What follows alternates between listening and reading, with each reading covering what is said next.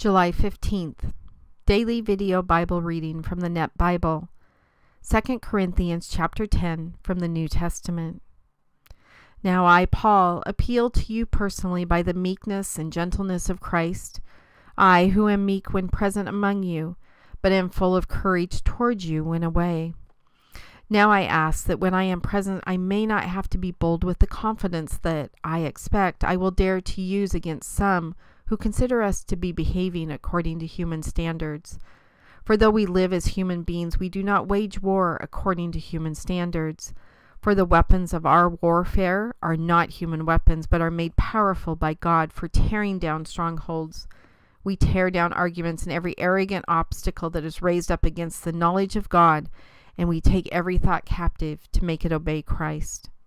We are also ready to punish every act of disobedience whenever your obedience is complete.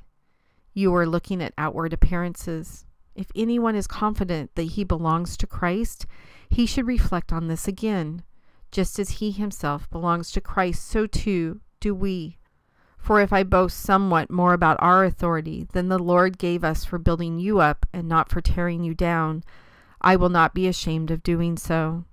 I do not want to seem as though I am trying to terrify you with my letters, because some say his letters are weighty and forceful, but his physical presence is weak and his speech is of no account. Let each person consider this. What we say by letters when we are absent, we also are in actions when we are present. For we would not dare to classify or compare ourselves with some of those who recommend themselves. But when they measure themselves by themselves and compare themselves with themselves, they are without understanding.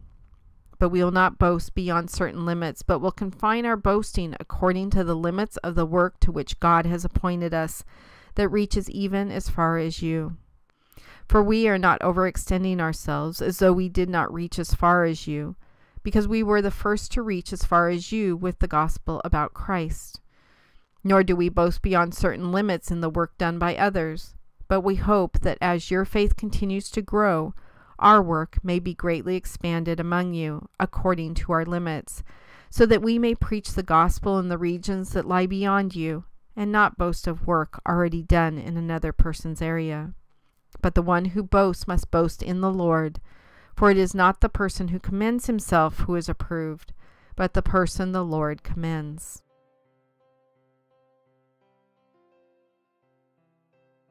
God, I wonder how much faith and trust and part of our relationship with you we actually put into the people we listen to here on earth.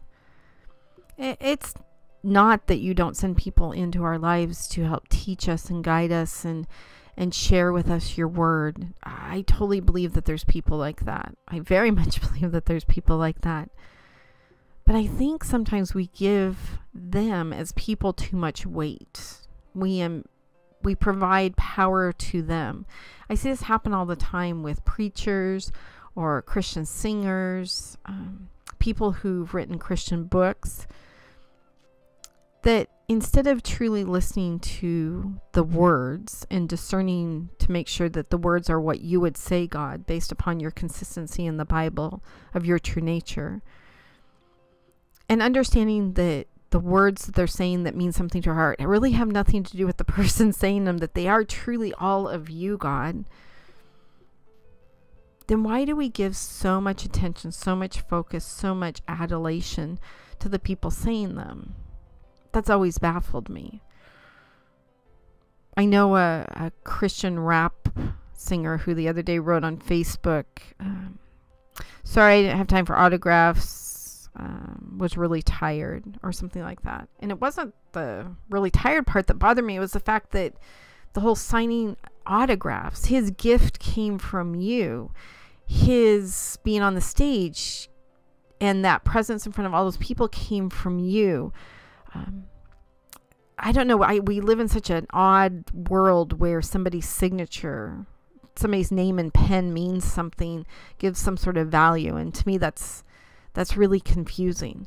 And I wonder if Paul was here on earth, if we would do the same thing to him. We would line up around the bookstore to get his name signed in in our Bible. I don't know. I just when when I read this, I very much understand the humbleness that Paul teaches because he was one of the most humble servants that you had, if not the most humble servant you have. But I wonder how much we give power and authority to people here on earth when it is truly you that we should bypass them and give you that that praise and honor and glory. God just allow us the next time we go, oh yeah, that was a really good sermon or gosh i really love this book by so and so or this was really good bible study or that's a really good song that we also stop in that same breath and say thanks be to god who allowed those words to be said allowed those words to be sang allowed those words to be put into a book.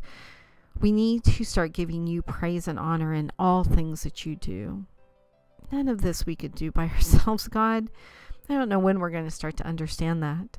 None of this. Nothing None of this could we do by ourselves. It is only by your will, your grace, your mercy, your sovereignty that we have these gifts and these abilities. God, help us keep those in check when we talk about others who are in the kingdom of God or who are sharing about uh, your word to others, to keep in check that it is only you who can allow those amazing uh, gifts to shine through and touch other people's lives. In your son's name I pray. Amen.